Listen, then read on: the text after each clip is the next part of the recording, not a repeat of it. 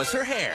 It was fine when I went to bed. Then it was her dress. It's like melted. Then FBI Special Criminal Investigation Unit.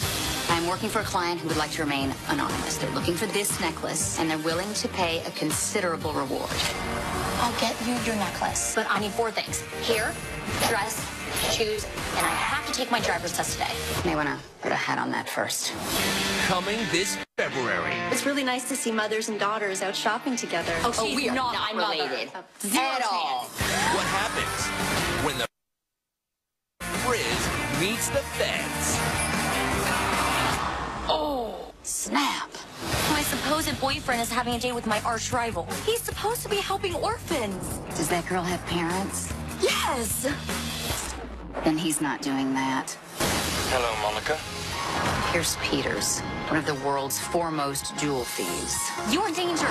He's gaining on us. Keep her on the road. I'm gonna hit the red button.